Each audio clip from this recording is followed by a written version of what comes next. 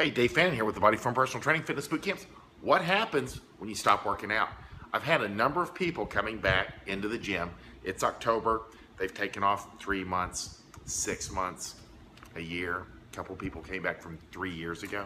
So what happens when you stop working out? Because I try to convey to people when they're in my program that this is a lifetime endeavor. That, and I know that's a hard sell and it makes people uncomfortable, but I'm not here to make you comfortable. I'm here to make you better. That you're going to have to work out in some manner the rest of your life.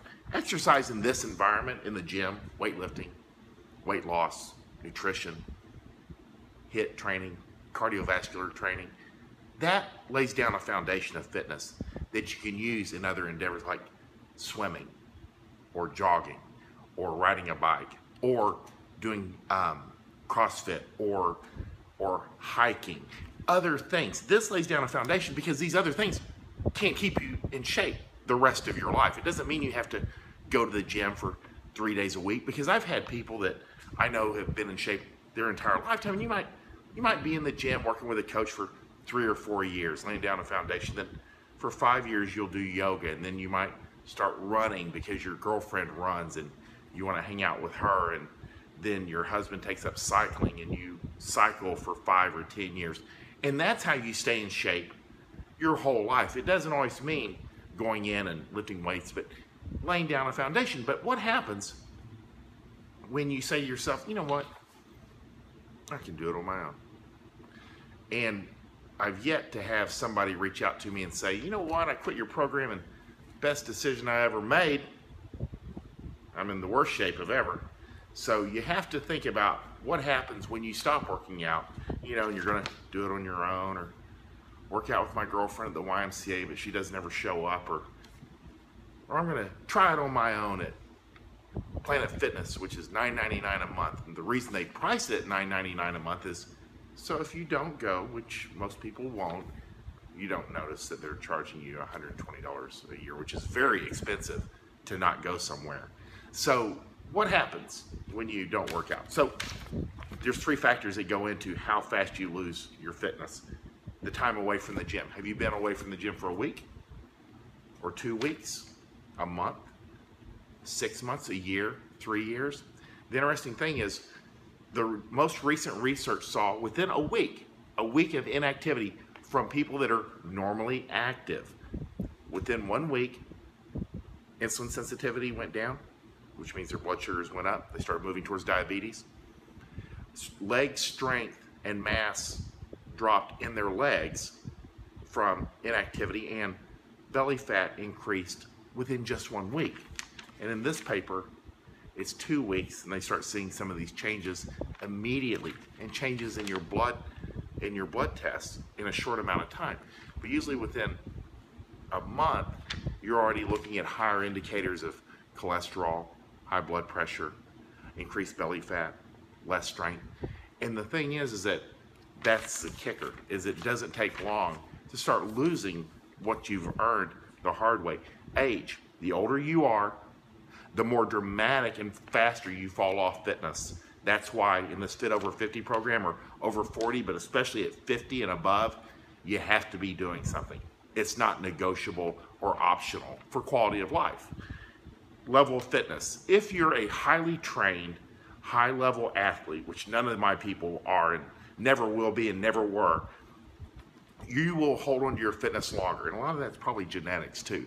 But if you're a regular fitness person that you've laid down the foundation of a few years of getting into the gym consistently, it's the normal timeline of a few weeks, month, two months, and you're in, you're in a little bit of trouble. Usually within a month, you're already you know seeing significant muscle loss, increase in fat, changes in your blood work. So the physiological impacts on your body, aerobic, capacity. Research shows significant reductions in VO2 max within two to four weeks of detraining. This is attributed to decreased blood volume and cardiac output. You're not practicing cardio. You're not using your heart like you were. Therefore, you start losing some of those adaptations.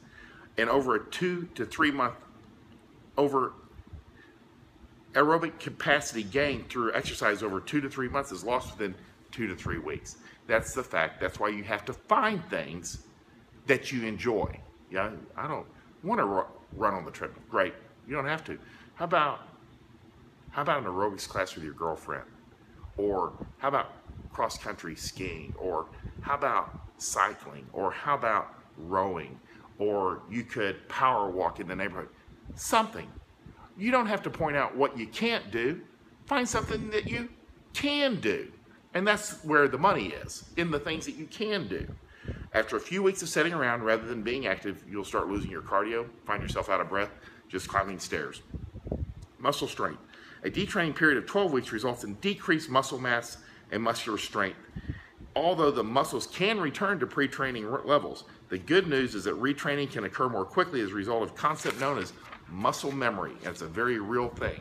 Once you're stronger, it's easier to get back to that strength and leanness than trying to get there the first time. I tell people this when they're like, I really fell off the wagon and I don't want to get back on because it was so goddamn painful the first time. And I have to convey it'll be easier the second time around because muscle has memory. And there's actually cells within your muscle that they help you get back there. Um, while strength performance can be maintained up to four weeks of detraining, power and endurance may decline significantly.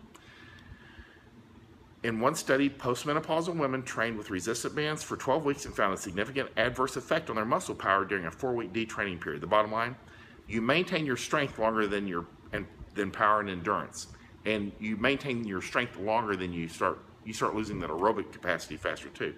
Side effects, blood pressure. Blood pressure, um, in fact, exercise is a medically accepted lifestyle change to treat hypertension. I have a lot of clients that come in, they're on borderline hypertension. They're already on medications. They don't like it. It makes them feel old and tired. And through nutrition, and not crazy nutrition, but just eating healthy and still being able to socialize and have fun, in a consistent exercise program, moderate, they come off hypertension medications, which are $200, $300 a month. Also, blood sugar. A study published by Medicine and Science, Sports and Exercise, found that blood sugar levels remain elevated after just three days of inactivity in young, generally healthy individuals. The unfortunate consequence of being sedentary is it consistently raise glucose levels, raise your risk of heart disease and diabetes. Even a small amount of moderate exercise improves how well body regulates glucose, and getting back into your routine will help ward off preventable health conditions.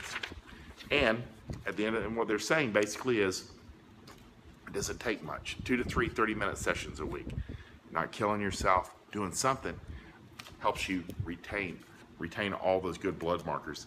And then at 50 and above, just a moderate exercise program, two to three times per week, helps you prevent 70% of the accidents and diseases that are that are lifestyle related after 50 pretty significant. Not a bad return on your time of an hour and a half a week of exercise. Fat mass. One fear many have is that your clothes will begin to fit a bit tight as weight creeps up and the body goes from being toned and firm to plumper and flabbier. Detraining has been found to have negative effects on body composition, with an associated weight gain decrease in metabolic rate. No shit. First, your calorie requirement will decrease. We don't really deal with that too much. Secondly, you're not burning the same amount of calories. At the end of the day, a lot of this is multifaceted. You're you're taking in the same amount of calories. You're probably not eating as well because exercise, being a cornerstone habit, tends to carry over to nutrition, and you eat better when you're working out, and then you start putting on weight, and it's a negative. And I have people that have come back and they're like, you know, I left you. I was at 160, and I'm still 160, but I'm I'm I'm not the same person because they basically dropped muscle and they increased body fat. It might be 15 or 20 pounds. But the good news is, back, usually within 14 days. I get new, I get clients that have been with me before coming back, 14 to 21 days. Significant improvements because you know the deal. It's kind of like a doctor. Why would you come back to me if you not if you were working out with us before and dropped out? You know, we know you. We know your history. You know our system. Just like you go to a physician that you trust you know and trust he has he has experience with you or somebody that cuts your hair they know you or it you it just works you go faster with somebody we don't have to there's a not a flat learning curve You know the deal. We know you. And things have improved since we saw you last. That's why I like to use that physician. Because let's say you dropped out three years ago. He's still been practicing for three years. He has three more years of experience to help you along into this getting back into shape thing. And how to manage a detraining period. I like this sentence. The best way to stop fitness losses is not to abandon exercise in the first place. That's it. If you don't stop, you just show up and have lots of things to pull from. You stay in shape over time. Regaining fitness after a break. One thing that will work in your favor is muscle memory. Essentially, your muscles have special cells in your muscle fibers that remember previous training movements so that when you get back to working out after an extended layoff, you're able to regain, regain lost muscle quicker. Ease back into it.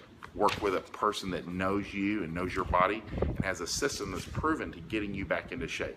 So I just want to talk to you guys today, and I'll be back tomorrow about how to get you back into shape if you've had a layoff of some time, whether it be a month, two months, two years, or 20 years.